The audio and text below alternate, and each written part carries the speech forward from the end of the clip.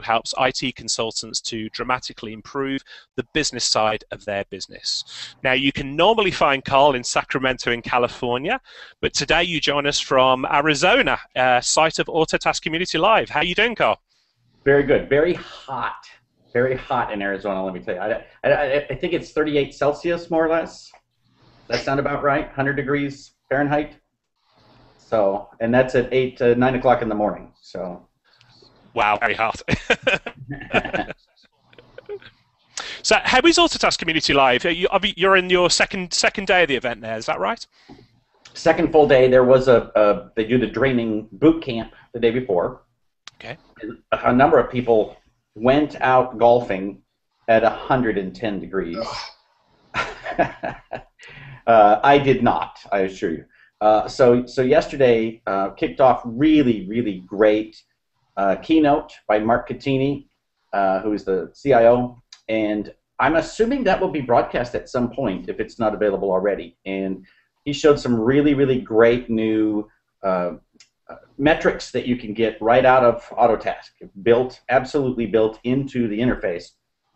And one of the cool things they did, which is it's a brilliant move in my opinion, is that for everybody who's registered for this conference, they preloaded the database with these metrics so that they've got that tool ready to go. And all you have to do is literally go by the Autotask booth and say, show me my stuff. And they, they demo this new program, this new module with your live data out of your Autotask.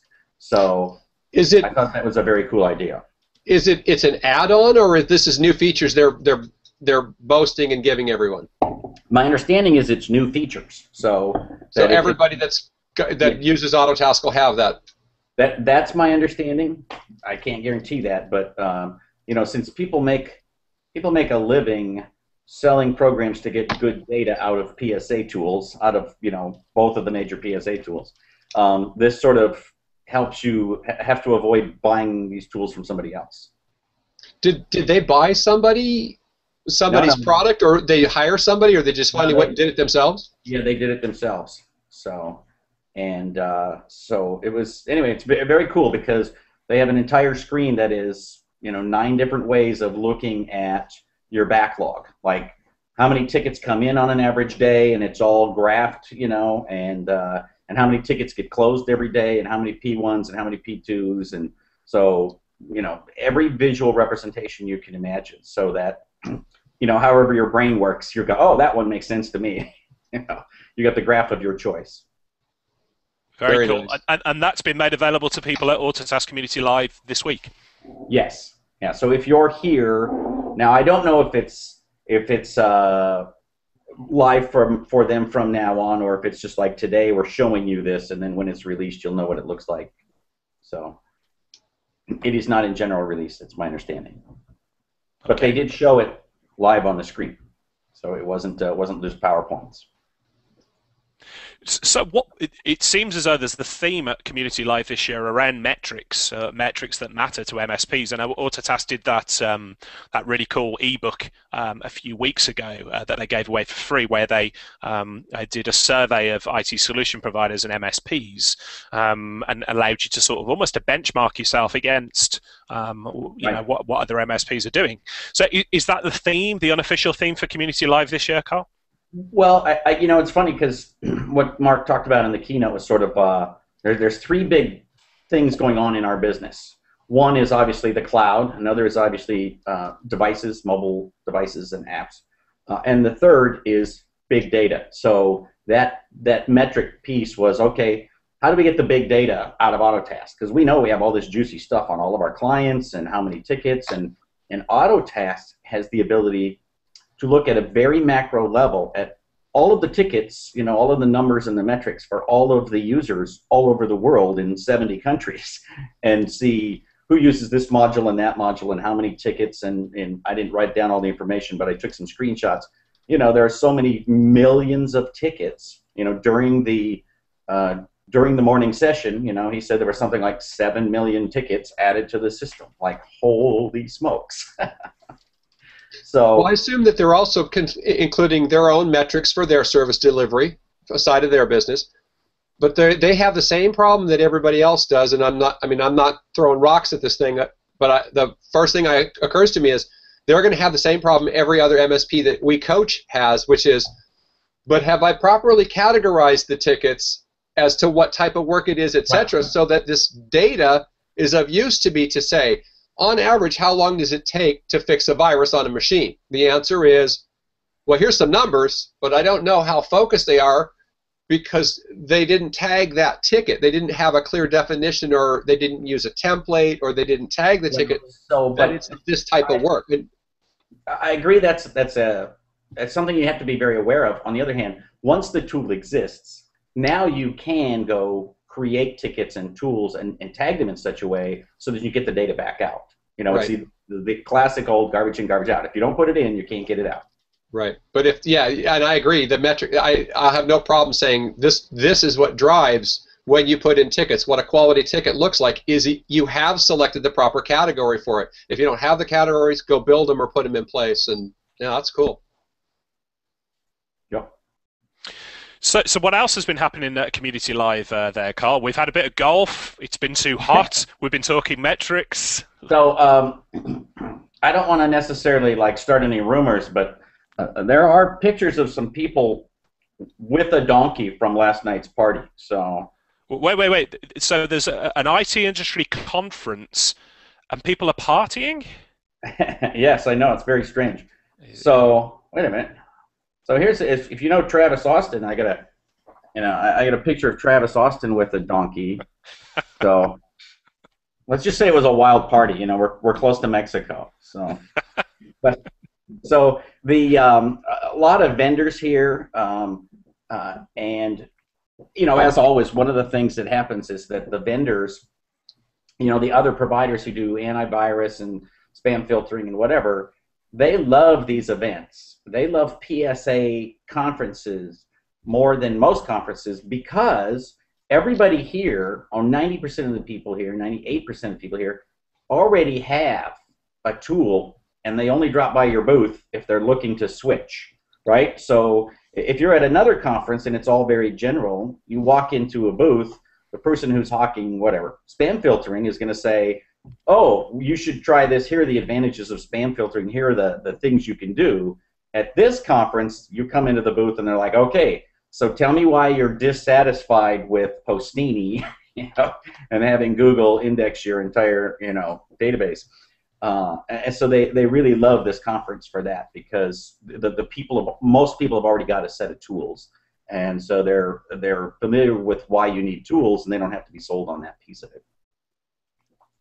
And how are you finding the makeup of the attendees at Community Live this year, Karl? Because I attended Autotask Community Live last year um, over in Orlando, Florida, and I wasn't the only Brit there. There was a number of Brits came across. Um, this year, of course, the big news was that Autotask Community Live has, has grown to such a degree that it's going to be in two locations, right. Arizona and Barcelona, Spain. Now, I, I had a personal commitment, so I, I'm, I'm not in Arizona, um, but I just wondered how many other Brits have, have made the trip across, or how many other people from outside uh, um, Europe have made the trip. There's quite a few. I mean, you know Lee Evans and, and Gareth. Uh, so there, there's a number of, of Brits. There's a handful of people from other countries as well. So, you know, obviously there's always a large Australian contingent.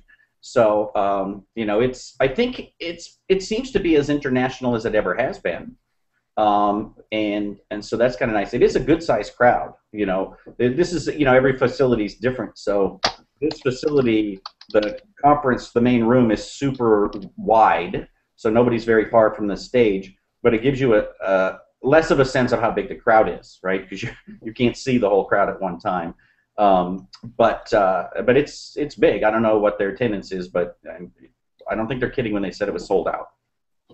Yeah, I That's can well, I can well believe it. And, and in terms of the uh, the breakout sessions, um, uh, what what's the content there? What's uh, you know we've we talked about MSP metrics as a theme, but is the is the training sessions and other speakers going on there?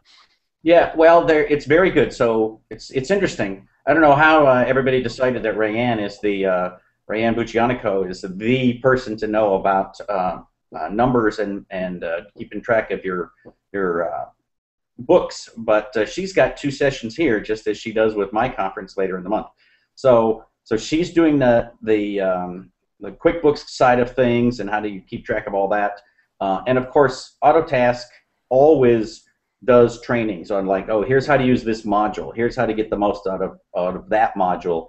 And so, you know, that that kind of stuff is going on with a lot of emphasis on, you know, some of the newer things that they're going to be releasing. And I can't remember the number, but I think they released 40 new features yesterday. So you gotta if you're if you're if you're an Autotask subscriber and you haven't like logged in and poked around, uh, you should be doing that, you know, here in the next week, just to see what's what. Uh, and what about the mixture? Is is um, is it uh, long-standing Autotask users there? Is there new users there? Is it a mixture of the two? Um, actually, a real good mixture. I'm shocked at how many people I've talked to that this is their first conference and they've been using Autotask for five years. So um, it, it is interesting. And one of the one of the unnamed Autotask employees told me that um, it's pretty common that people will go to this conference two or three times and then take a few years off. And uh, just because at some point you you can only take so much education, then you got to go implement it. And if you don't implement it, there's no point in coming back. so where where I believe that you know there's a lot of benefit to be had with meeting people you know who are are using the same tool and so you know somebody you can rely on the other 12 months or the other 11 and a half months out of the year. Yeah, I, am going to be intrigued with, of course, Autotask have had really explosive growth here in the UK. Um, so their numbers have gone up and up. And I know the, the Autotask offices in the UK have grown, you know, they've moved offices three times to accommodate new people. So I'm going to be really interested to be in Barcelona. I suspect there's going to be a huge amount of people who, um, you know, at their very first Autotask community live. So that'll be interesting. I think they have six offices now, like US, China, you know, so well, so. that I mean that's good. I I'd be curious to see how many they are expecting for Barcelona. Do you have any idea on that, Richard? Oh, I have no idea. I, most most people that I've spoken to, of course, we mentioned my friends uh, uh, Lee Evans and Gareth Brown. A couple of the Brits are across there. There's a number of other people who attended Autotask Community Live in the States last year that said they would definitely go again this year. But then when the announcement was made uh, about the date in Barcelona, I think most people from Europe and the UK are, you know, their preference, of course, would be to go there rather than fly 100 million hours or, or whatever it is to uh, somewhere really warm. So uh, yeah, it keeps down the costs and it's a it's a shorter trip because it's a it is a big investment of of uh, not just money but time out of the office as well. So much more if you're flying across the world for it. So so not really sure how many numbers, but I'd expect it to be I would expect it to be sold out as well. I'd imagine. So let, us change tack a little bit if we can, gents. So the, the reason we were getting here today, um, partly because uh, Autotask Community Live's going on, but us three, we had a we had a really uh, strong conversation a few weeks ago, uh, talking about making money and saving money by using a PSA tool, which of course led to this conversation here today.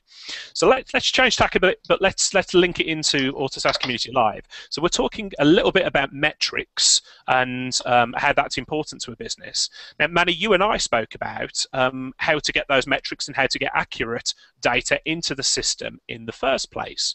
So I'd like to kick things off, if I can, Manny, by asking asking you the question lots of people who have adopted Autotask or a PSA solution, the first question is how do I get my engineers to log time accurately? and I can see Karl smiling there, but if I can, can I turn to you and get your thoughts on this? I know it's something you're very passionate about.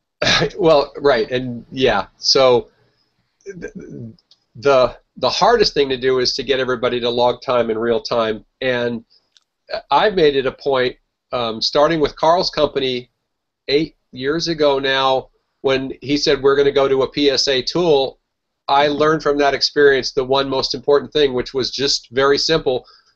You create the process by which everybody's going to follow to log time in real time, and you set the uh, the precedents that we're going to do this, and you set a date, and then you say from now on, from this day forward, you'll have no gaps, no overlaps, no duplicate entries, and every time entry is going to be a quality entry. And you do have to do the groundwork ahead of time and say, here's the tool, here's how you use it, this is how you log time, this is what we expect. You know, write up a procedure.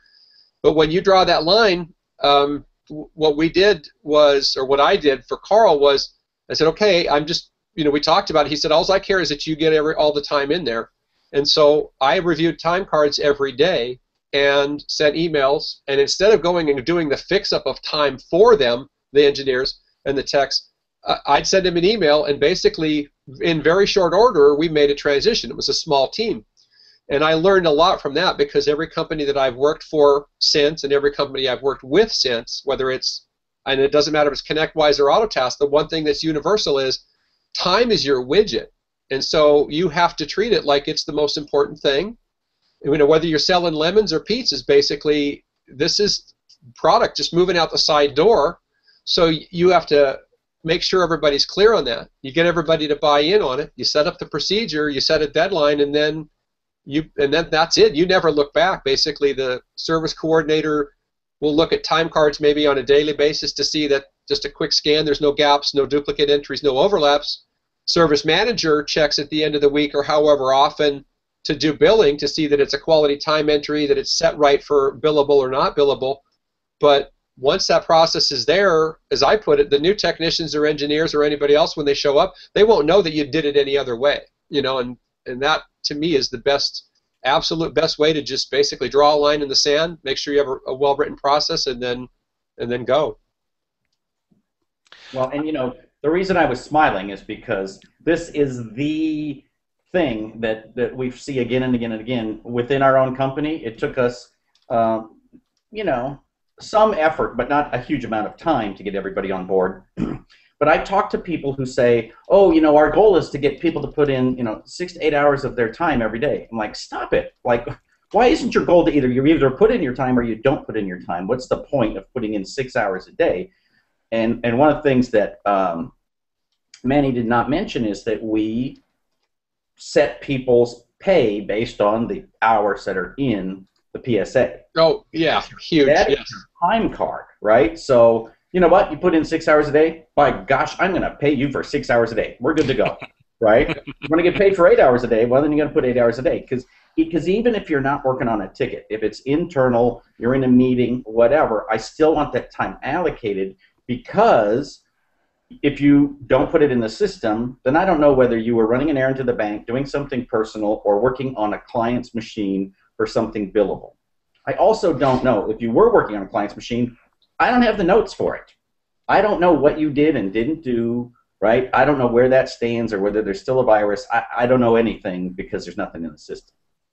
Yeah, and so, as Karl was saying about um, making it tying their their uh, pay to the time. Now, so let's say you have somebody who's on salary, and at the end of the day, you can have all kinds of different conversations with people, whether they're on hourly or salary. But it is true, right? We we started out and said, well, from now on, we're going to just do all time cards in in the PSA. So that makes that just literally eliminates all conversations about that. Then the next thing that, like one of the golden rules of time entry is that you have to account for all time from the beginning of the business day to the end of the business day. Again, with no gaps, no overlaps, no duplicate entries. And by doing that, basically you impress upon the engineers in the text that, look, if, if you work a, a morning shift, an afternoon shift, or an evening shift, let's say it's a big company and you do help desk and, and you have field service techs, it doesn't matter. You're responsible for a core of hours that you're supposed to work.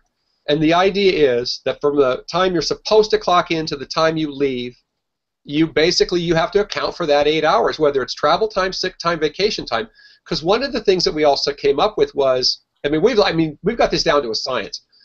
Well, one of the other things we came up with is if there's time missing, I don't know if you took lunch, went on break, went to the doctor, forgot to uh, log time for a client, or got in a car accident. I have no idea. And it's really cool if you've got everybody working in real time because the service coordinator or service manager, I, I would the term I use is they can actually go look in the system and see where you are. They just go literally go look at your time card, and the last time entry you had is driving from ABC company to XYZ company, and then it says lunch break. It's fair to assume, if you go look at the schedule, they're at that call that they're scheduled to be at at 2 o'clock. Nothing to it, you know? And it literally, it, it's kind of like it is the key thing that will straighten out so many other service delivery problems for a team by just mandating that you work in real time you know, including one of the most important, which is if a client calls, and this is like probably one of the biggest problems, a client calls and says, Joe was just here,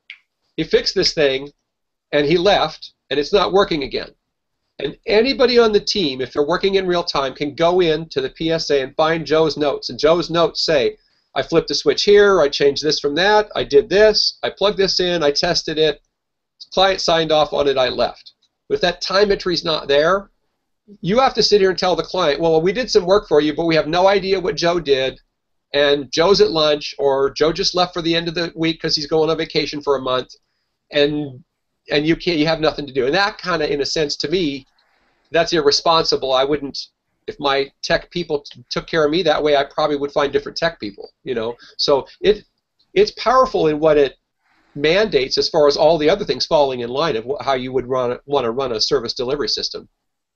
And yeah, it makes you look a bit of a fool, actually, doesn't it? If a client phones up and says, "Hey, uh, Joe's just left site, and um, yeah, it's still not working. Oh, let me give Joe a call. I can't get through to Joe. Joe's turned his phone off because he's gone to lunch." I know I've been there with you know my MSP in the past. It does make you look a fool. So let me move this along and let me ask the question there that uh, the those MSPs who are watching us live and watching this video afterwards are screaming out and they're saying, "That's all well and good, Manny, but I can't get my engineers to do this." What's your answer to that? Uh, well, the truth is, then you get different engineers, and I. And, and a lot of people say, "Well, wait a minute, I can't do that." Well, actually, you can. But really, you start back where you you introduce the tool, you write a nice process, you indoctrinate everybody that this is where we're going to go, and you draw a line in the sand, and then it's just part of your job. It's it, it I mean, if this is our widget, and your job as an engineer to go fix things and log time so we can bill the client, whether it's break, fix, or managed services, it doesn't change that that's just an integral part of your job from this day forward.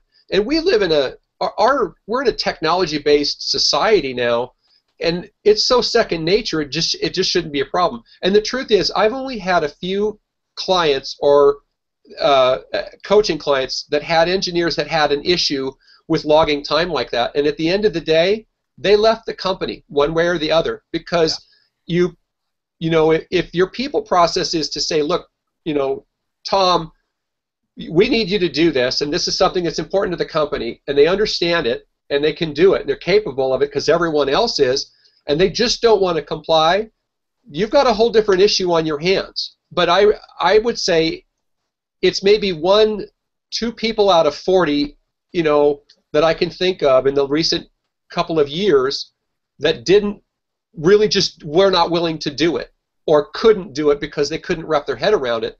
But this again is where the process comes in is you set the engineer free and you say someone like myself 10 15 years ago who i always believed i could just put in the hours in the middle of the night and get it done and take care of it and i don't want to log my time. Even myself can be i can be retrained. Anybody like me who's still in the industry doing that it forces you to do as karl always says my favorite saying from karl is slow down and get more done right? The number one i have a thing called the the eight golden rules of psa that i give to my clients. It's one of my sheets. Number one rule is all work is done against a ticket.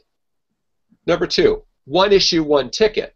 And number three, everything we can do remotely, we do remotely. Fourth, we always work in real time. So when you, these are the lead-in things that I was saying about indoctrinating and making sure everybody's clear on the process. And every technician I've ever presented this to, they went, "Wow, this is great. This is this makes sense and it's logical." So really having it's really going to be a rare thing to have somebody who just says there's no way that you can prove to me that that's more efficient than doing it my way. And my answer to that is simply well i can actually prove it. I can show you percentages and efficiency numbers based on all your time being logged. But you not logging time and not tracking it you haven't got nothing. So you know you know but uh, i know that's kind of a long answer but that's that's really what it boils down to no, I, th- I, think I think you're spot on with it. In, in my experience as well, if you've if you've got an engineer who um, has been told that hey, this is the way we're doing things now, we're logging time for these reasons. The company needs to make money. We need to keep track of it, and they still don't do it. Actually, in my experience, it opens up a whole different can of worms. Is how many other processes is the engineer not right. following as well. And if you track through how many other um, maybe hidden away uh, disasters waiting to happen uh, are sitting there. So, Karl, if I can turn to you for a minute, I know you're just as passionate as uh, Manuel on this subject. So, in terms of the process and the and the people, what are your thoughts on it? Is it easier to uh, bring somebody new into the business, or or should it be uh, just as easy or uh, just as as um, uh, as, as uh, a good way of doing things to to put a process in place and to get everybody to comply with it. Well, it's sort of interesting because if somebody's new, I think it is easier because there's only one way that we do things. This is the way we do things. They don't they don't know that there's an option to not, you know, put their time in or not use the, the, the correct terminology or construction of a, a ticket. But it's also very easy if you have employees who are actually excited about their job and enjoy what they're doing. There might be some resistance at first because they're like, oh, I'm, you know, you got to get your head around. you know, you're you're taking away my freedom, and and some people might even have the attitude of um, that, oh, you're you're micromanaging me. You want me to put every minute of my day in the system. Well, no, it's not that I'm micromanaging you, but it's it's that I need this information for many other things in the job. And once once you sort of have this first wave, it's it's sort of a two-step process for current employees. The first wave is get them to do it, get them to see it, and then you it's your job as the owner to reflect back to them, okay, here's how many tickets we put in last week, here's how many hours we put in, here's what the backlog looked like, is it going up, is it going down? You have to get back to the metrics that we started with and show them what you can do with the system once you have this information. You can also run reports and say, look, this client is not profitable, right? Everybody thinks, oh, that's our best client. Well, your best client doesn't make any money for you because you know you, you spend so many hours working on their stuff and you know they're only bringing in a thousand dollars a month you need to give your time to somebody who's bringing in a lot more money so once they see that at some point it, they catch fire because they're like oh my gosh i can't believe how great the system is and now they're excited about going ahead and um, putting their time in and following all the rules because they see that it actually does improve everything they're doing. I will say to, to the, the, the question about what you do with people who don't want to participate is, you know, in line with what you guys said. I have two posters made for my office. One says "Slow down, get more done." Uh, the other one has got a little triangle, and on the the base of the triangle is the word process. We can create the process. Once that's in place, the, the other two sides of the triangle, one is can do, so we, we buy um, employees who can do the job. We only hire people who we know are competent. So then the volume of your success is determined by the length of the third uh, side of the triangle, and that is will do. And if you have people who, where the will do is very small, your success is going to be very small. But if you have people where the will do is very large, your success can be extremely large because if the process is stable and the and the can do is in place, then the only thing that's a variable is well whether they will do what you're paying them to do. And the the only other thing I think we haven't mentioned about why people don't put in their time is that some people are like, oh, it takes too much time. It's you know I, I need to go to the next client and the next client and the next client, and you just have to tell them, look, there's nothing more important than having this time in the system. The ticketing system is the heartbeat of the entire organization. And if the if the time is not in there, I literally have no idea what happened in my own company today. So you you absolutely have to do it. And you know, anyway, you're right. I could go on forever, but no, it's it's it's it's it's a great subject to talk on. Uh, something that that springs to mind straight away, of course, and I'll, I'll turn to you, uh, Manuel, to get your thoughts on it next. Traditionally, um, it's fair to say that uh, IT companies are probably built or created by people who are technicians themselves and grow from there. Adjusting to becoming a business owner and leading by example can be a challenge for you know for, for the best of us in the industry, the best people in the industry it's my experience, or it's, I think it's probably true to say as well, that the leader of the business does need to lead by example, especially when it comes to logging their own time. So the amount of business owners that I've spoken to uh, doing MSP coaching, and they're saying, "Oh, I'm having a challenge, Richard, getting my engineers to log time," and I say, "Well, do you log your time?" And they go, well, no, because I'm not really, uh, I'm not part of service delivery. Most of it, yeah, yeah. Right. So, so Manuel, any thoughts on um, uh, how to um, to lead by example, how to be transparent about the amount of time that's in the system, and I think going back to what Karl was saying, explaining to people why it's important that the time is logged in the system and how how it can be used to make the company profitable or not. Well, so it depends on the role. Now, the, it's a, it's interesting because let's say you take a little one-man shop who's trying to do this, and he's going to go log his time. He's just got to re-indoctrinate himself and, and train himself these tricks. And you get a little bit bigger company, and you don't have a service manager, but let's say the next the next logical iteration is you have three techs. Somebody kind of has to do what we call a mini service coordinator role or service coordinator type role. And that person's got a duality where they do some tech work and they do some service coordination. But even their service coordination is admin time, and it still gets logged, and it still gets done in real time. And I, am not kidding you. If if I re-listen to this audio, and I'm going to come up with 75 subjects for different blogs, and they're all around the same thing, which is time is your widget, and you like Karl says, we've talked about it. All of these wonderful metrics, Autotask or ConnectWise or any other uh, company wants to get out, don't come out unless you've put these, these entries in. It's the core of so many things. Your finances, your cash flow, your metrics, your your efficiency, it's just everything. But and then going back to the to the model, as your model gets larger, and then you have a service manager, and a service coordinator, and then pretty soon you have multiple teams.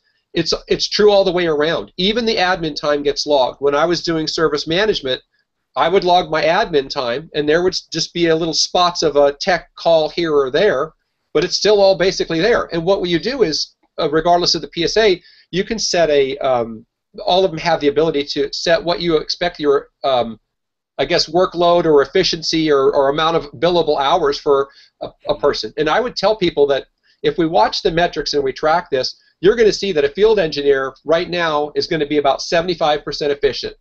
Help desk guy is going to be about 90 to 95% efficient because they don't drive anywhere, they don't get, they don't go anywhere. They just do one call after the other and minimal admin time for a meeting at the beginning of the week service coordinator could end up being 60 40 because they spend 40% or even 60% of their time doing admin stuff. And each person in the in the team will find a signature what their efficiency and the number of billable hours are. And all of a sudden you can do workload reports and, and projections and know when the next time you get a new technician is. And you can even turn it around and look at a client like Karl's saying and say, well, I have a client who's they're, they're, we're really burning money. Well, let's go drill down and look at how we're losing money.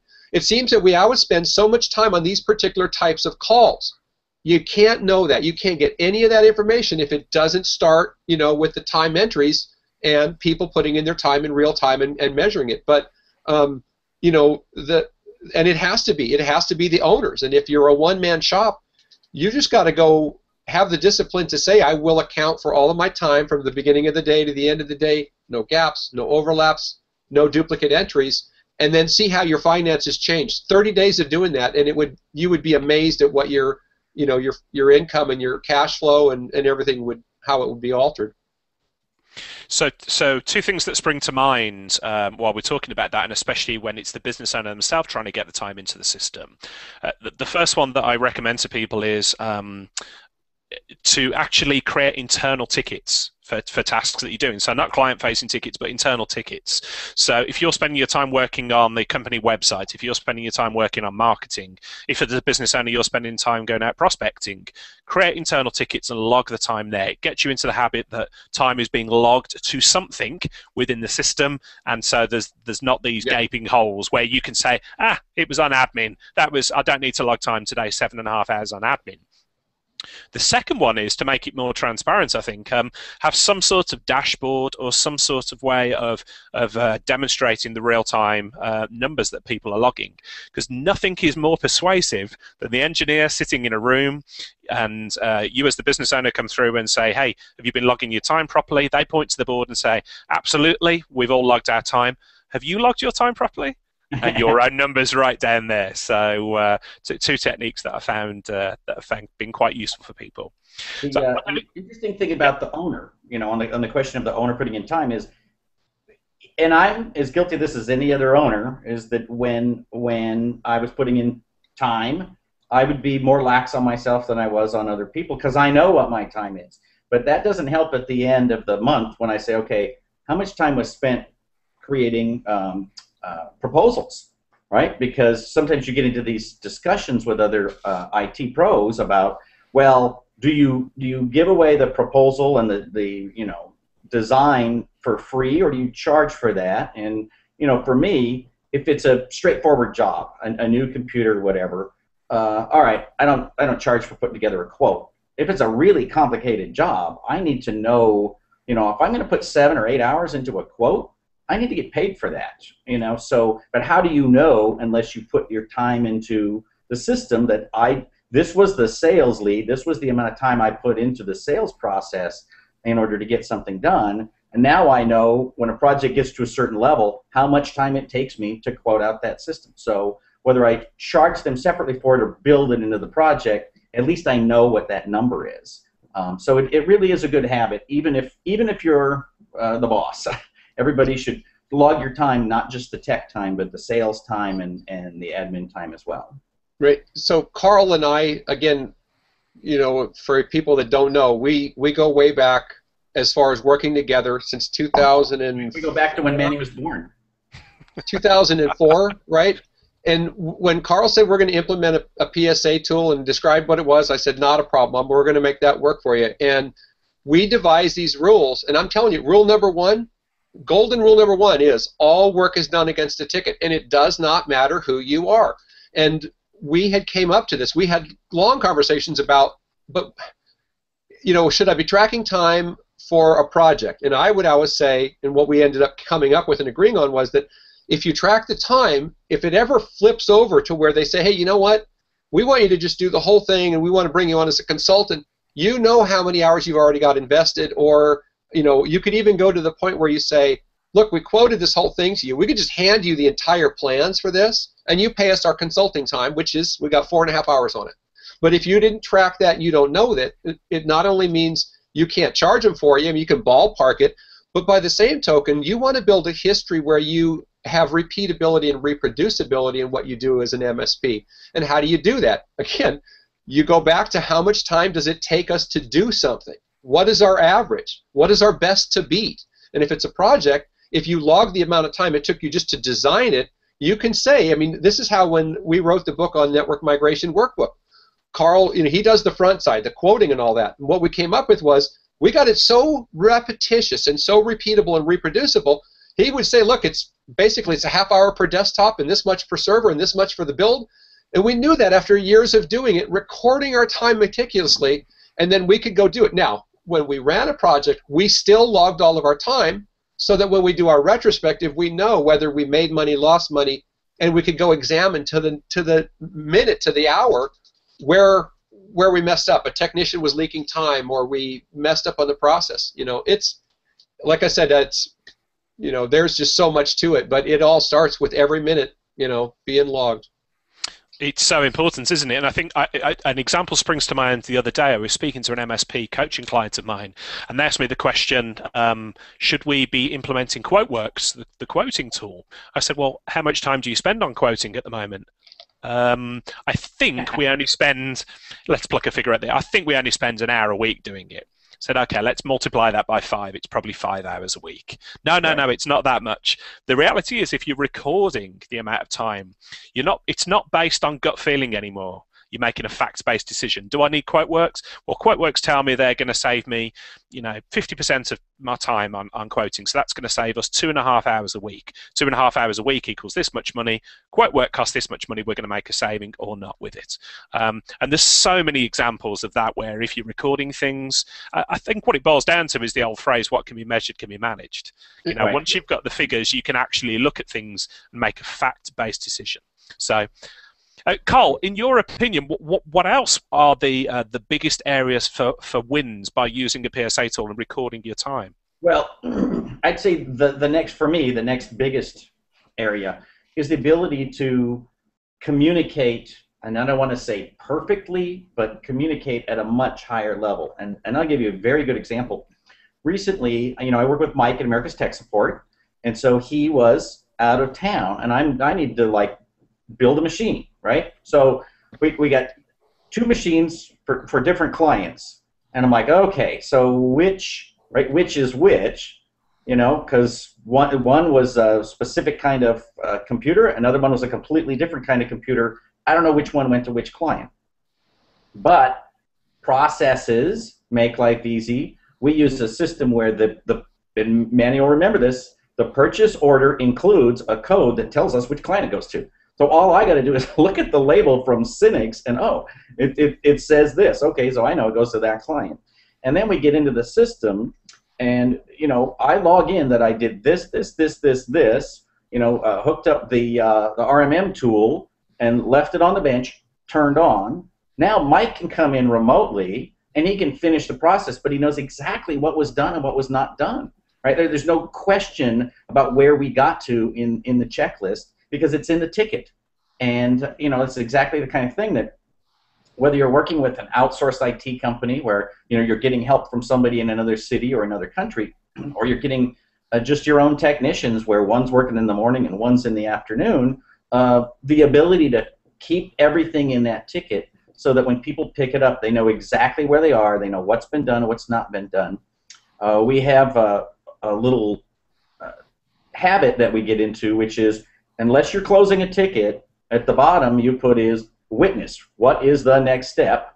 And and some people know like okay, so the next thing is I got the antivirus in, so next we need to install Microsoft Office, but I got to move on, so I'm I'm leaving the ticket now, putting it back into the uh, schedule this category.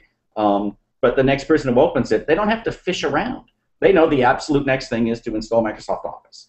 And so that kind of communication is huge for um, you know managing your team and managing a project so that you don't waste a lot of time for everybody who opens a ticket has to get up to speed. You know, you you make that getting up to speed much easier. The you know the the thing about the Wittens is powerful because we talk about a lot of people forget there are some clients out there who actually look in the portal of your PSA tool to see what the status of things you know are and what we would always do is we would always try and target a what we called a, a client technical contact. And so one of the clients we had, they would go into the portal. I mean, it, it didn't take that long. I mean, it only took six or eight months, maybe a year to train them. They would go into the portal and they would actually look at a ticket to see what the status and what was going on with it before they called us.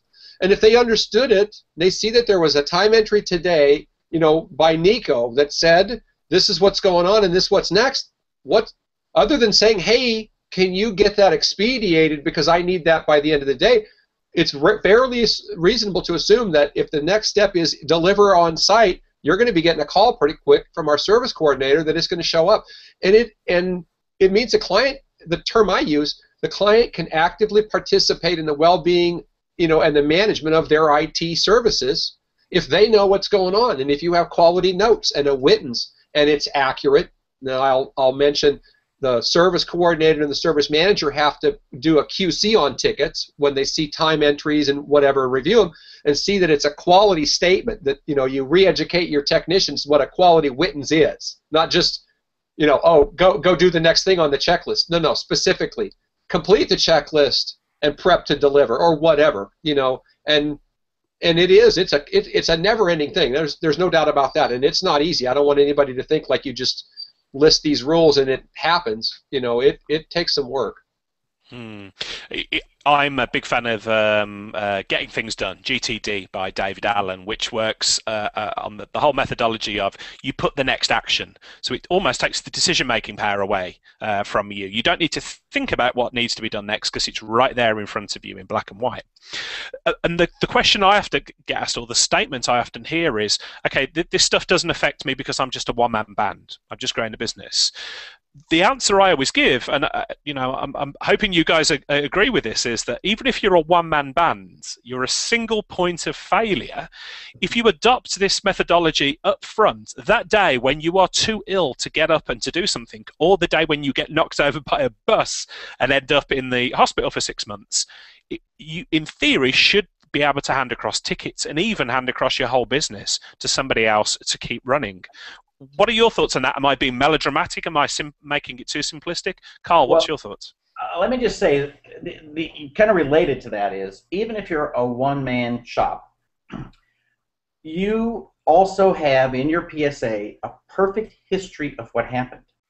So when a client comes to you and says, you know, we've never had an issue with this before, and you go look it up and you go, okay, this is the ninth ticket for that printer this year. So don't tell me that you haven't had this issue before. There's something going on and we got to take care of it. Or, you know, there's a certain person who, like, she always has viruses. Nobody else in the office ever has viruses. There might be something going on there. Um, we've even had cases where we look back years to find out what happened. I mean, just recently we had a discussion with a client who said, oh, you know, when we bought this small business server, you know, I think that it was a license that we should be able to keep and use forever and blah, blah, blah. And we're like, no, it specifically says right here, software assurance, which means you bought it on, you know, and, you know, we had to explain it to them, but it was in that ticket. Uh, everything's in the PSA.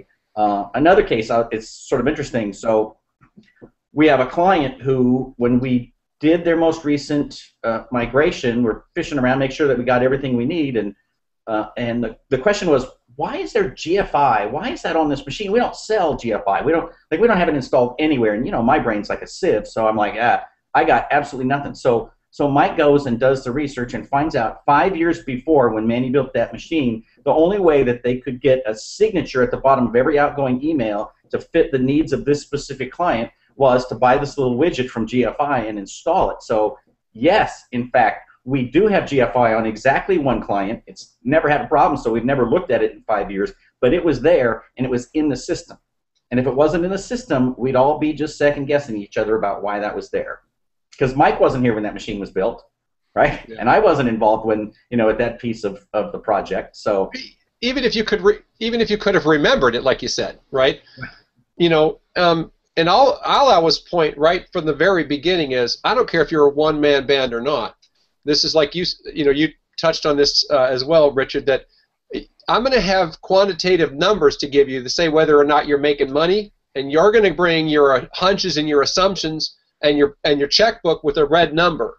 Okay, and we'll see who can decide definitively whether you did or didn't make money. This is your widget. I don't if again if you were selling lemons and you didn't count your lemons, uh, how do you know that you made any money or that five five of them didn't get stolen or you know you, you just don't know. But the the best part that you mentioned, Richard, about it is uh, having a backup for yourself. Let's say if you are a one man band, but more importantly, um, the we we go on a tech call. Let's say if I was a one man shop and I go on a tech call and I have to escalate this to my continuum, my back office, my NOC, or Microsoft or HP, I can actually package up my notes and send it to them and say, look, this is what I come up with and this is where I've dead ended.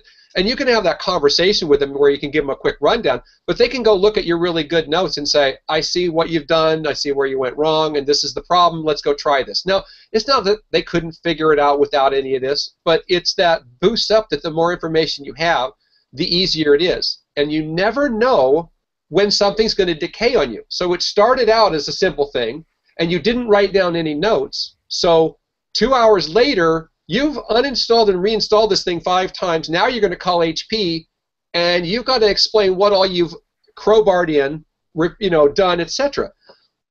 And you don't even remember yourself.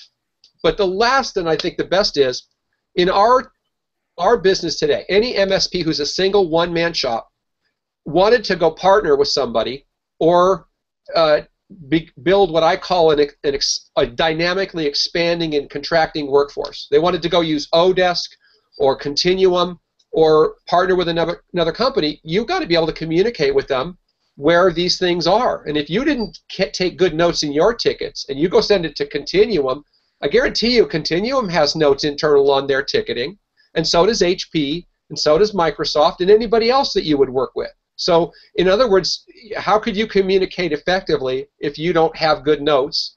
And of course, number one is still, you know, what gets measured gets weighed. You know, you your time is your widget. Yeah, I, funny side story. I, I, remember the when the penny dropped for me personally about this documentation thing, and hey, there might be something in it. And and and Karl Manuel, you've probably both done the same thing.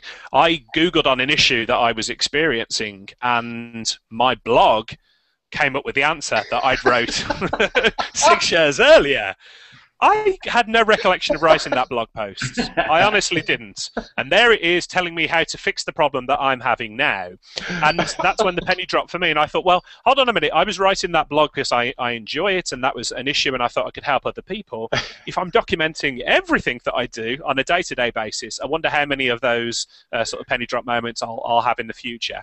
And uh, interestingly, the, the service delivery manager from my old MSP uh, dropped me a note, a tweet on Twitter the other day. He was like, thank goodness uh, Blog's uh, article on such and such is still there, Windows uh, Windows 7, because we still refer to it to this day every time when we forget. But uh, right. yeah, it's, it's it's it's an interesting thing. The more you document, the more actually the more intellectual property you've got within your business. So, yeah. Did you did you Google Plus? Did you click on like Google Plus it uh, again? oh, I always I always like my own articles, man. Yeah. so, so we're approaching we're approaching the end of our time here. So I, am going to jump to each of you in turn, and the, the, the focus of our uh, conversation today is, has been around getting time into Autotask into a PSA system. But the overarching theme, of course, is making money or saving money. And I, I think hopefully we've given people a number of of uh, reasons they can use a PSA tool to make or save money. But to jump to each of you to to, to summarize up, is there anything we haven't covered, or what would be the top one thing that you would encourage encourage people to do with a PSA tool that that can easily make money or save money for them. And I'm going to uh, I'm going to pick on you first of all, Karl, as you're having the most fun over there in Arizona.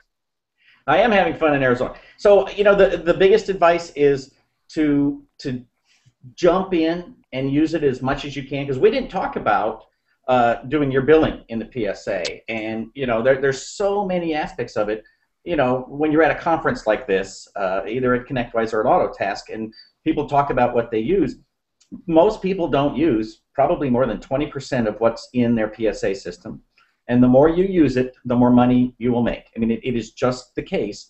And it, I know it takes a long time because you got to ramp up, you got to learn the stuff, and then you got to figure out how to use it the best way and so forth. But, but you really need to dig into it and use the system. The more you live in that system, I think the more consistent your processes will be, the more profitable you will be, the more you can hand work back and forth between people inside and outside the company, communicate with clients. You know, it's a snapshot in time for work that was done years ago. I mean, there's just so many benefits to it, but you have to first start with being dedicated to to use this tool that you've paid for. Very cool. Manuel. Um, I, uh, I actually wrote myself a couple notes because when you say that you know make money and save money, the first thing that occurs to me on saving money is whether you're a one-man shop, but more importantly, the more people you have in the system, the way to save money is if you log time, you can go back and look at this history. This is something I always tell clients: this you have to build best practices for your company. And how do you do that? You figure out what you're doing right or not. And I had mentioned it previously. Let's say you go and figure out that every time you install a PC or, or Tom installs a PC, it takes four hours. But every time Joe does it, he takes an hour. Well, now you need to get Tom and Joe together and figure out how to hammer out that process and, and re-indoctrinate Tom so that he's getting that efficiency down. You see where you're leaking time, a term Karl came up with years and years ago. Okay, and and you attack those points. That's how you save money. And uh, making money, or I, I, would say getting paid on time, comes to uh, something we learned early on. If all of my time is up to date in real time every Friday, I can go do billing every weekend and send out billing for the time and material stuff every Monday. And that's cash flow, and cash is king, right? I mean, and that cash flow, it means everything to your little business. And the smaller you are, the more important that is. Absolutely, could not agree further uh, uh, more. I, I, was trying to explain this to a, a, client, an MSP client, just the other day.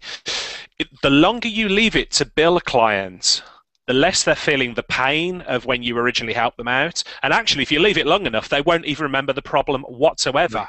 And that's right. when they start to query and nickel and dime you on invoices and uh, you know all sorts of things. If you're invoicing as quickly as possible with an accurate record, you're much more likely to to um, to get that invoice paid quickly, aren't you? I think so. Yeah, 90 days later, there's no pain. But but uh, but if you listen to what we're telling you, 90 days later, there's quality notes right, that completely clearly explain what we did for you. So but you can forget, but you know what? We got it pretty much. We got it. We got a you know, uh, you know, days and days worth of notes. you know. So. So I think we could talk about this for another 90 minutes or thereabouts. We could talk about it. It's a subject we're all clearly very passionate about. So probably a request to, to anybody who's watching this video. If you found this of value, please, please feedback to us on, on Twitter, on Google, on Facebook. Drop us an email. Let us know if you found it of value, and because uh, I think the three of us would be happy to get together again and uh, and talk along similar lines. So if anybody does want to reach out to us, um, if I just take it in turns, if we, Karl, if we get to you, how do people find you online? Where's your blog? How can they find you on Twitter? What's your email address? Fax number? Uh, telex? Yeah, I think the thing here is, is it says uh, small biz thoughts. So um, smallbizthoughts.com and, and blog.smallbizthoughts.com. That gets you kind of connected with me. My email is carlp, K-A-R-L-P, at smallbizthoughts.com. Or if it's easier to remember, greatlittlebook.com. Uh, they both go to the same place. And uh, I just do encourage people contact us if you have a topic that you would like us to talk about again, because I I'm having fun here. So. Well. Yeah, I would say I made it a little bit easier to uh, to find me if um, if you can spell my name right, right? Uh, my email address is manuel at palachuk.com. And on all social media, I am basically at Manuel Palachuk for Twitter, slash Manuel Palachuk for LinkedIn, slash Manuel Palachuk for Facebook, Manuel Palachuk for Skype. So um, again, if you can spell my name correctly, there, there's no way you can't find me and, and uh, my website and everything else. And and by all means, I encourage anybody that's listening to this, uh, you pick a subject that that uh, you're interested in or you think that we can help you with. I would love to, to do this again. Um, and it's true, we could spend hours just on the same subject because it's it's so important, but much more to cover. So I'm going to give a little plug here as well, mainly because I'm one of the speakers, um, but also because if you've got value from uh, watching this here today, um, Karl has been very, very giving of his time with the ind- industry for, for more years than I can count. He's somebody that I've uh, really looked up for, to for, for the longest amount of time. And Karl's actually putting together uh, the SMB online conference, Karl, in a couple of weeks' time. We're a couple of weeks away from it now, aren't we? Uh, perhaps yep. you could give details. Sure. So the, the conference, you can go to smbonlineconference.com. I made that very easy.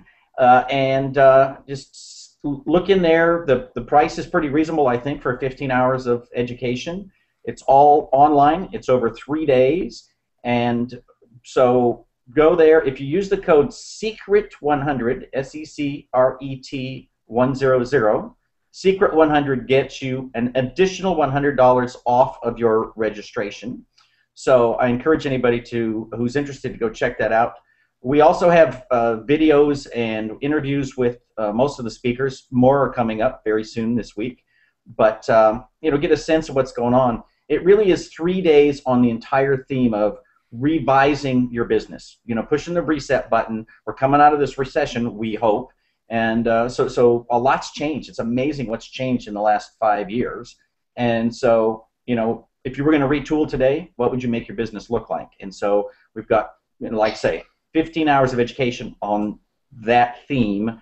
And you two are uh, speakers at the event, and I greatly appreciate your participation with that. And uh, I'm looking forward to a really great event, three days at the end of this month. Yep. Fantastic. Looking forward to it. I was an attendee at last year's conference, Karl, and it was um, phenomenal value for the price as well. So, um, yeah, hugely encourage that.